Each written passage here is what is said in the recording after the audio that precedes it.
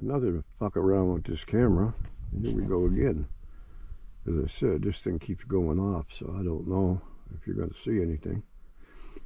But there's some big quartz oh, rocks in here I want to try and dig out before it gets dark. They're down about there. And uh, a little few little pieces, there's nothing in them, but I'll take them home break them up, see what's going on, because it's been a it's been more than a year since I've been down here, and man, it is hot. It's got to be what 30. No flies, which is good.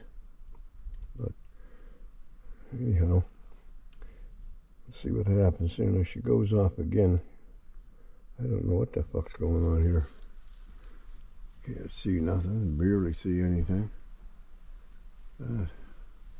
This is the hole I started digging here fucking 30 years ago. After there's people around here scooping stuff up anyways. Talk to you later.